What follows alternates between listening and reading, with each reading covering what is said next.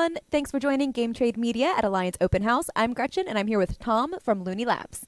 Thanks so much for having me, Gretchen. I'm excited to show off some of our new games from this year. We've got a couple of our favorites from earlier in the year over here, uh, but mostly we're going to be talking today about Chrono Trek and a couple new Fluxx games that we put out. So, Chrono Trek is based on our original time travel game Chrononauts, if you're familiar with it, but it's all set in the Star Trek universe.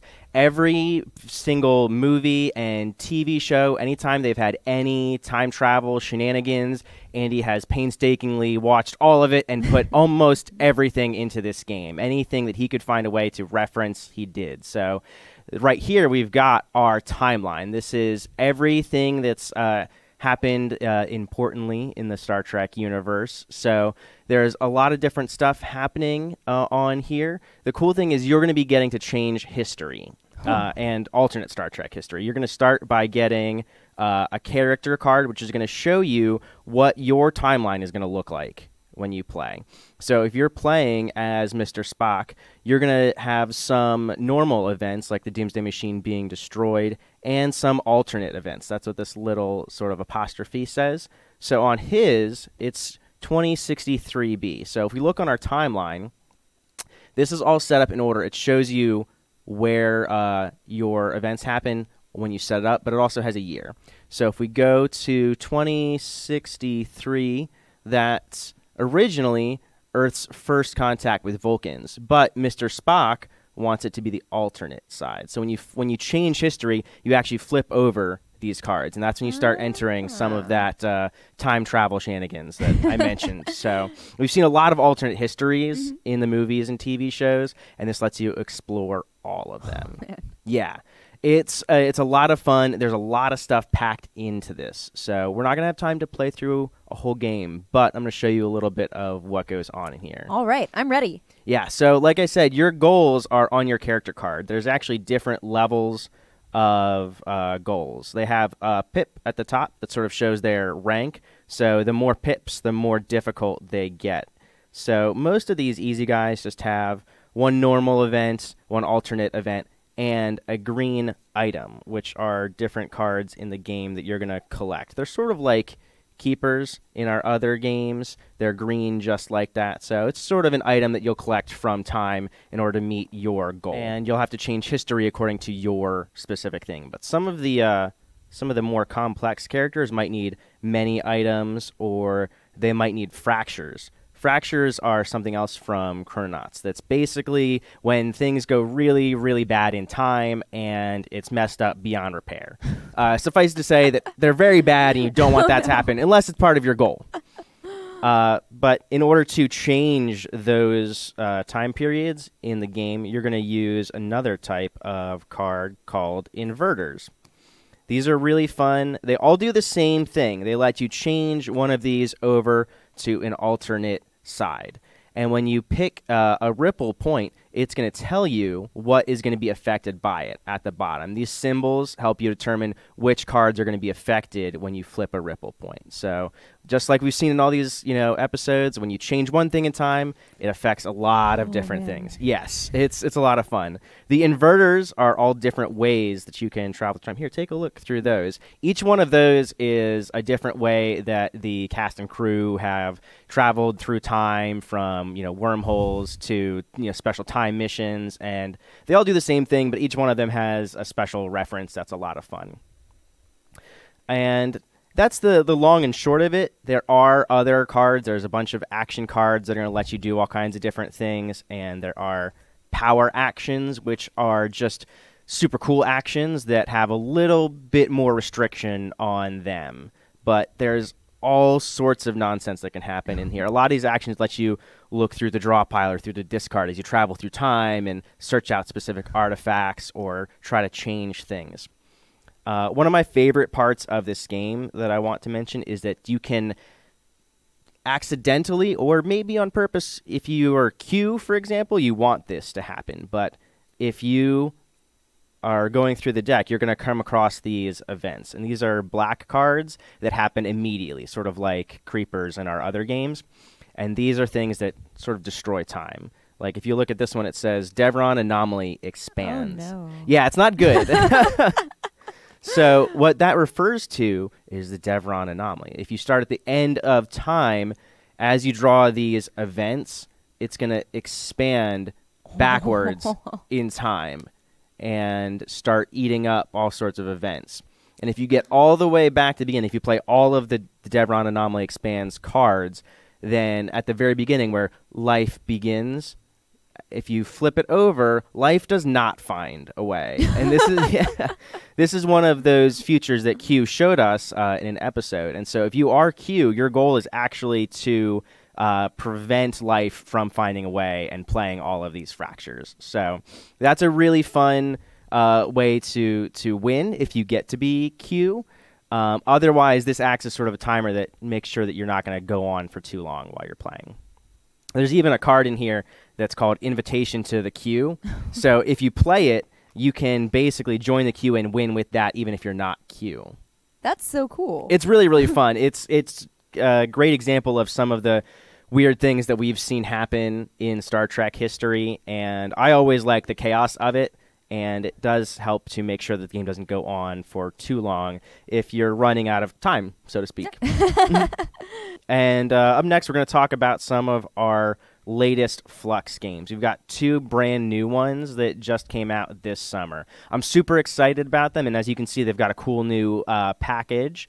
They each have a collectible coin that's going to be unique to each game. So this one is got a little Captain America shield that is really cool. The holographic coins are just a fun little extra that's included with these. oh, it has heft to it too. Yeah, it's actually like a, a poker chip, and it's pretty nice. It's it's a fun collectible that we got to include, and it's nice to show off, you know, in store and on the shelf. It's and my turn. it is used in the game. There is a rule that says uh, pass the coin, and when you put that new rule into play, you have to remember to pass the coin on to the next person when your turn is over. Otherwise, then uh, that person gets to draw a card. So it's it's a nice little bonus. You want to make sure that you are keeping track of whose turn it is. It's also useful anytime you just need to keep track of turns.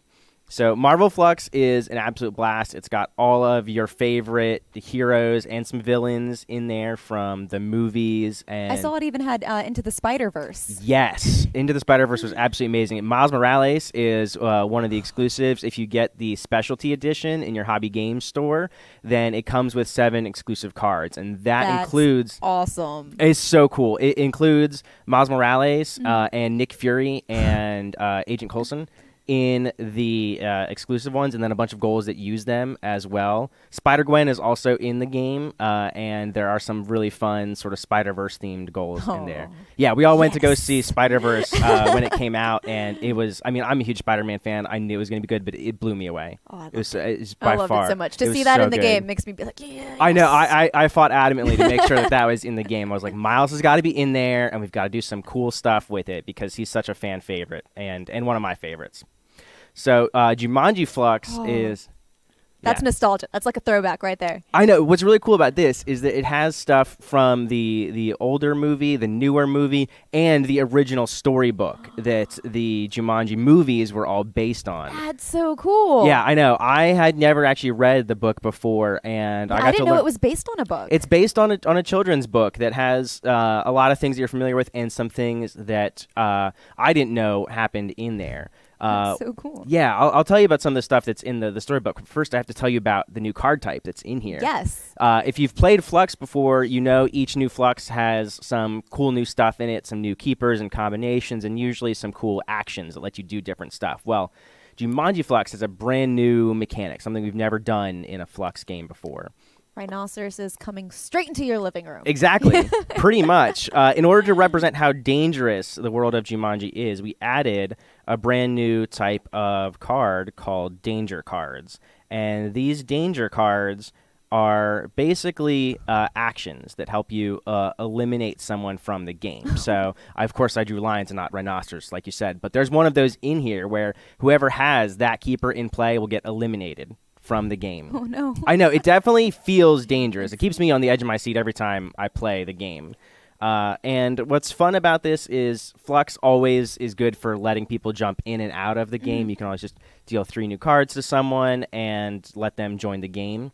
So with the eliminations, not only do you have a new way to win, if you eliminate everyone Mm-hmm. else from the game, then you're the last one standing and you're king of Jumanji. You do actually have to say, and this is in the rules, you have to say Jumanji when you either match the goal or you eliminate everyone else in order I to love win. that. It's great. it's it's a really fun way. I've caught people off guard with that before because you can sort of you know snatch a, a victory from them if they're too excited to win and they don't follow the rules then they don't win so but you can uh, jump back in if you get eliminated you have to skip at least one turn and then you know get a new hand and come back in basically as a new player um, but if you get to the bottom of the deck there is a brand new meta rule that says no more extra lives. And of course i didn't put it on the bottom of the deck. But once you run through the whole deck this rule comes into play. And it says once you're eliminated you can't jump back in. Oh no. yeah it's another fun way to make sure that the game doesn't go on forever. Um, if you've